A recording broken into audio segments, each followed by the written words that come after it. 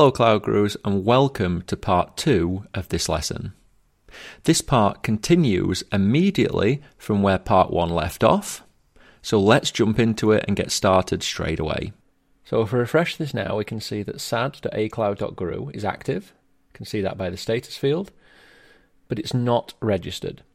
So the next step is to select the directory and register it for use with workspaces. Now we can just accept the defaults here, but one thing I do want to draw your attention to is as well as enabling the directory for workspaces usage, you have to do the same if you want to utilize workdocs. The default's yes, and so I'm just going to leave everything as is and click register. Now it's worth mentioning you can do all of this separately. So you can create the directory directly from the directory services product and then come to the workspaces console and register it that way. Either is good, and you may as well do it as one step if you don't have an existing directory and you're creating a brand new Workspaces installation. Now, as always, this step may take between two to three minutes, so I'll pause the video and I'll resume it once the registration has completed. So we can see this has registered, and it would have been at this point that you would have got the error if you were trying to register a directory with a directory node that is in an unsupported availability zone. So if you do get an error message, you'll have to delete the existing directory, recreate it, and choose an alternative subnet, one that's in a different availability zone. Now, because we only have three availability zones, the number of possible choices are limited. Originally, when I had my failure, I picked availability zone A and C, and I could not register workspaces for this directory. It turns out that in my account, availability zone C in Sydney does not support workspaces. So for this demo, I created one in availability zone A and B, which is this directory that you can see now. And this has registered successfully, so we know at least in my account, A and B, so availability zone A and B, are supported for workspaces. Now, once this is completed, we can click on Workspaces in the left side menu, and we can launch a workspace. Now, you'll be asked to select the directory in this case sad.acloud.guru, and then click Next. Now, a workspace is tied to a user of that directory, and I don't have any users yet, so I'm going to go ahead and I'm going to create one. This will be for me, so I'll enter my username,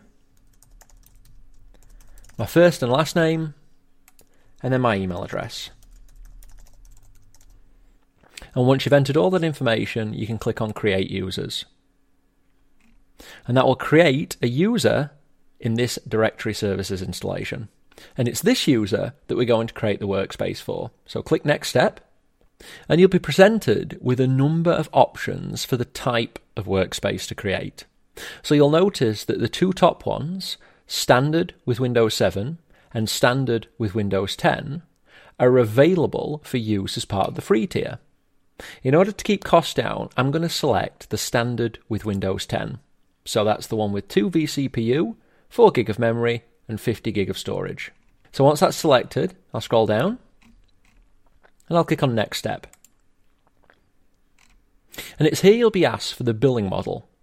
Workspaces supports two billing models. The first is always on, where you'll be charged a monthly fee for access to the workspace, whether you use it for one minute or the entire month. You've also got Auto Stop, which is the one that's free tier eligible, and it's the one we'll be using for this demonstration. With this model, you billed by the hour, and if you don't use your workspace after one hour, then that option is configurable, it will stop the workspace, and that simply means that you won't be charged while it's stopped.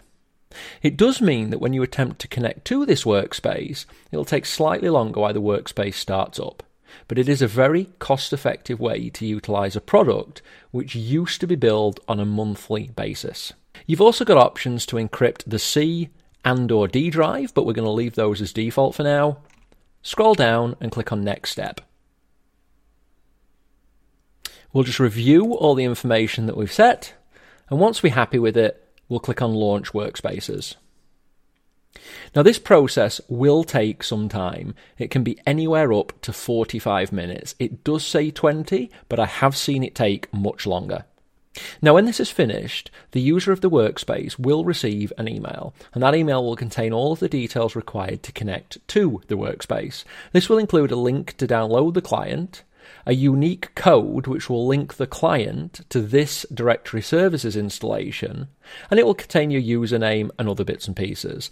And there'll also be a link to set the password of the user in the directory service for the first time that you use this workspace. So I'm going to pause the video here and I'll resume it once the workspace is completed and I've received the activation email. So once the workspace is finished, you'll see that the status is available and you'll have received a registration email. It'll look something like this and it will contain a few key points. The first is the registration code, and this is how the Workspaces client links with your specific directory services instance, and you'll need to enter this once every time you initially set up the Workspaces client. Next is your username, and this is the same username of the user you created in the directory. But before we can connect, we need to set the password of this user, and we'll use the link at the top of the email. So I'm going to copy this link, I'm going to paste it into the current browser, and press enter. And we'll see the existing registration information, so my username, my first name, surname, and my email address. And I'll be asked to set a password. So I'm going to use a fairly complex alphanumeric password with some symbols, and I'll repeat it in the second box and click on Update User. Now you'll only need to do that once, and then you'll be taken to the download client screen. And it's here where you can download the Workspaces client for macOS, iPad, Windows, and various other operating systems. Now I don't need to do that, I've already got the Workspaces client installed.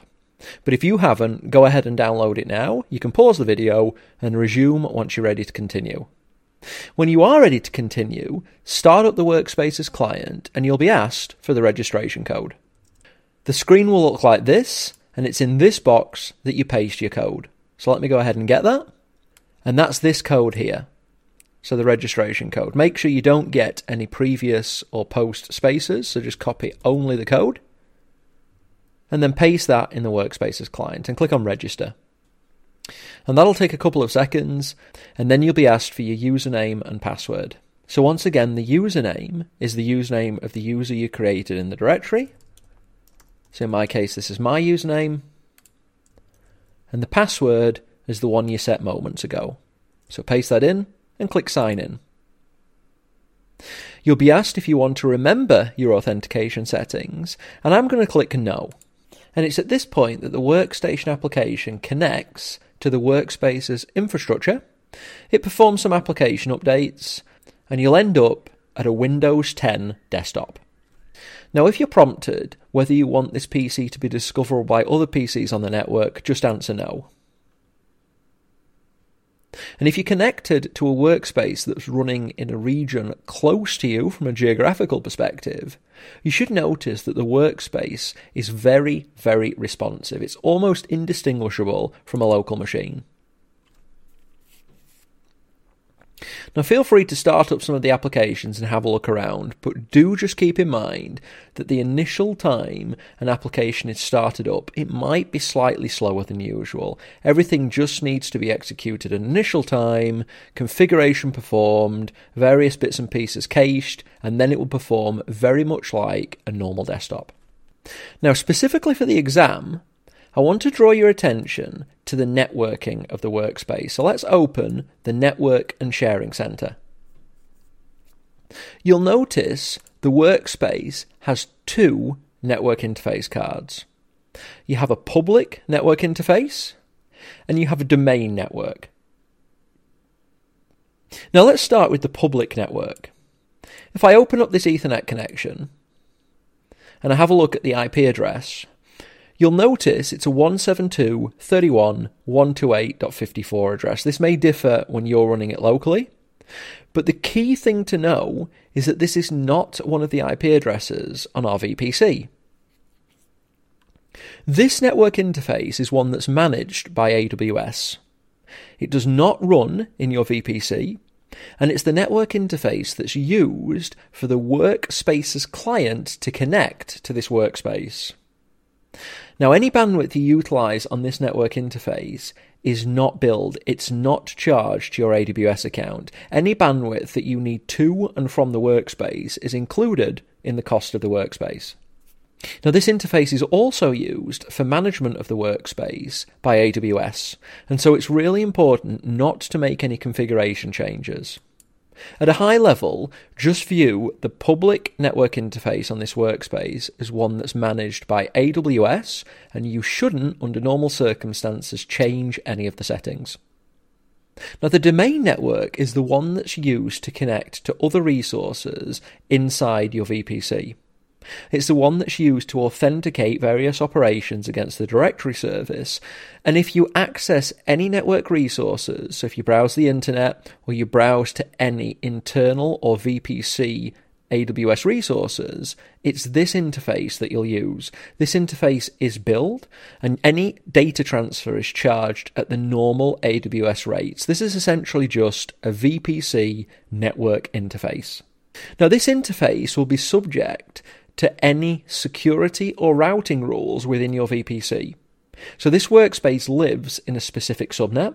This subnet has a specific route table with specific routes contained in it. And so the routing configuration of this workspace is directly controlled by the route table that is on the subnet that this workspace is in. And likewise, for this workspace to have internet access, there needs to be a NAT gateway or NAT instance to provide it with this internet access because it's living in a private subnet. It's living in the same subnet as our directory services instances. Now, connectivity to this workspace, as I mentioned a second ago, is via the public network. So this configuration, so configuration of this NIC, the domain network NIC, does not affect your ability to connect to the workspace. Now, it is critical to know that this NIC lives in a single subnet. And as we know, a single subnet belongs to a single availability zone. And this is critical because a workspace by design is not highly available. It lives in a specific subnet, in a specific availability zone. Now, if an availability zone does become inoperable and a workspace is running in a subnet in that availability zone, then keep in mind the directory services and the workspace is able to fail over to the other subnet. And that's why you always configure two subnets. It keeps the platform active with a single AZ failure. Now, from a exam perspective, the only thing you really need to be aware of is this is simply an instance. It's a machine running with a network interface within your VPC. So, aside from the ability to connect to this workspace, which, as I've mentioned, is via this public network and is always available, any network routing or security decisions is based on pre existing elements of the VPC, so NACLs, security groups, and any routes or route tables that you have applied. Keep that in mind for the exam. It's a critical learning objective. You need to remember there are no specific workspaces configurations in terms of routing. It is simply that it inherits the routes from the route table which it occupies, so within the subnet which it occupies. Okay, and that's really the end of this lesson, Cloud Gurus, at least as far as the scope of the exam goes. Now, I do suggest you go back to the AWS console and have a little bit of a play around with what other activities you can do with workspaces. So, experiment with rebooting, with stopping, starting, rebuilding, leaving the workspace idle for one hour so that it auto shuts down and then reconnect to it so you can just see how the workspace performs. As far as the exam goes, you just need to understand the architecture of the workspace's product. So, which NICs are involved, the fact that it has a directory service as a dependency, limits on workspaces as a product. So, what are the minimum subnet sizes? Same for directory services, for ports, what ports need to be open between the VPC and a workspace, how the security groups are controlled for a workspace. And I'll make sure I put a link on your screen now, which points to a really good set of articles around some of the limits and some of the gotchas around the workspace product. Now, the exam doesn't really focus on workspaces in a major way, but I did see a small number of questions during my exam, so I just wanted to make sure that you had the opportunity to at least spin up a workspace and experience how it works. Now, if you do have any questions after having completed this demonstration and after you've looked at the link that was on your screen a second ago, then please do reach out directly or via the forums. Otherwise, feel free to complete this lesson and move on to the next. And please do remember to delete your workspace, deregister the directory, delete the directory, and then delete the CloudFormation template for the VPC. And once you've done that, everything that we've created in this lesson will be removed from your account and you won't be billed. Thanks for listening, Cloud Gurus, and I'll speak to you in the next lesson.